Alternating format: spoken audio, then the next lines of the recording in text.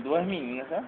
Aí só olhando, só olhando, aí, aí uma ficava falando com a outra, é fulana, a outra não, é não, é sim. Aí eu sei que uma foi e gritou, sabe? Você, você é irmão de Diego? Aí, eu nem que sei nem quem é, né? Você é irmão de Diego? Eu disse, você conhece meu irmão de onde? Ela fez, mentira, você não é irmão dele não. Eu disse, é, e começou não, eu disse, é Diogo. Ela disse, né, você tá mentindo, não sei o quê.